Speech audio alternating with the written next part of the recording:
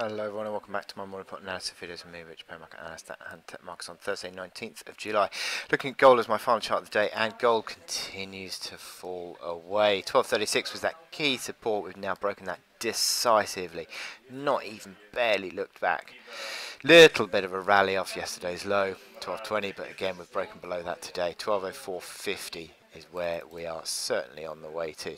1194.50 below, below that. But look at the configuration of these momentum indicators. Look how bearish they are. And 23 on the RSI. It's got a history of going back to the low 20s, so there's no real no real reason for it not to continue to go. MACD lines have only just crossed lower. Stochastics falling away.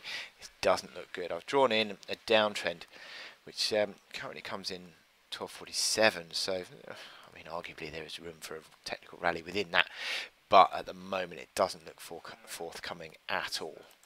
Um, here you see the hourly chart where, again, breaking below 1236, um, you've sort of found another resistance, lower high at 1228, um, lower highs, lower lows, trading below all the moving averages.